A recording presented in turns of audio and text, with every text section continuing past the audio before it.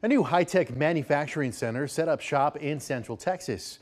This facility will bring robotics and artificial intelligence startups together to develop innovative new technology.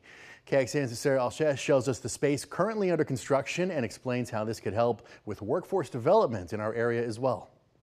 50,000 square foot space dedicated to creating new technology in manufacturing. Which is going to have a whole row of robots. Students can learn and train and become robot operators. Located in East Austin along the State Highway 130 corridor.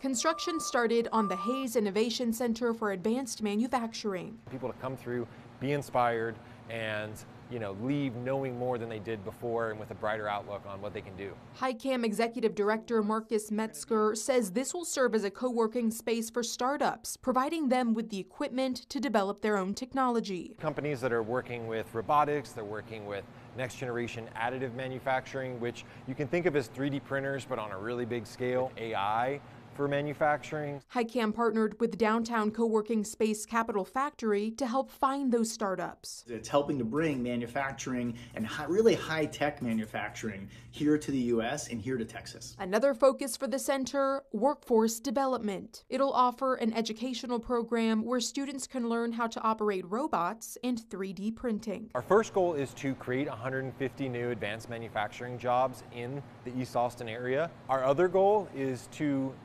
provide workforce training for a thousand people over the next three years. So you can come here and know nothing about robots and over the course of eight weeks gain the skills so that you can become an entry-level operator. Sarah Alsheh, KXAN News. And the center plans on opening up at the beginning of 2025. Later this year, it will open applications for manufacturing and robotics startups that want to be located in the space and participate in its accelerator program.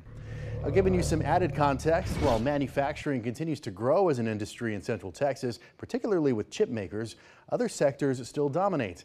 To give you an idea, last year Central Texas housed more than 2,200 manufacturing locations.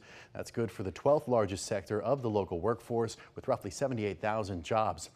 Experts tracking this information show current job postings for the manufacturing sector in the last month have increased 2%. It's what's inside that counts, even for robots. AI is the brain, robotics is the body.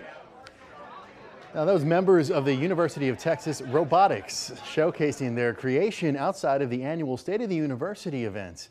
The university just created this new program for freshmen to offer an intensive way to study, create, and research next generation technology.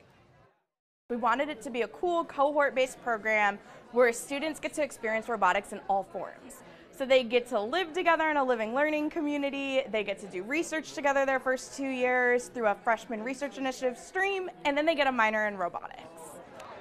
And you can find this program as part of the College of Natural Sciences.